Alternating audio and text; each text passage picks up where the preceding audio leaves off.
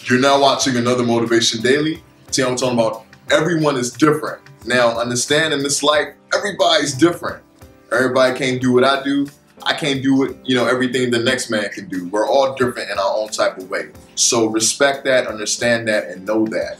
That way, you're not focusing on what other people are doing that you're not doing. Worry about yourself, stick to your grind, and find ways to build yourself up to get you closer to the things you want to see. We all have different lifestyles, different paths, different journeys, different experiences that we're all meant to embark on on our own process.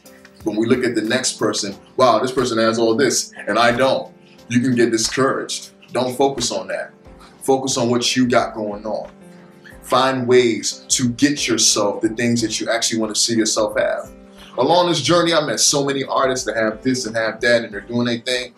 Good for them, and I wish you more. But along this, you know, along my process, I'm gonna find ways to build and get the things I want for myself in my own type of way. I've spoken on how there's no rules out here.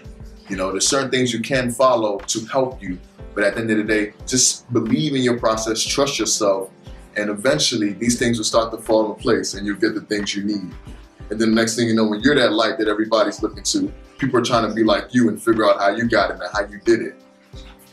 So everything is a process, everything takes time, but focus on you. Don't look at the next person. You see these five fingers? If you look at yours and you look at mine, they're not equal. We all got different body parts, different things about us that makes us who we are and let's stick to focusing on us. Like I'm talking about, we have more on the way. Thanks for watching. If you enjoyed this piece, please subscribe for more content. And if you would like to give any ideas, you can leave that in the comment section below or email. To donate tips or resources, you can also do that with the links posted. Thank you.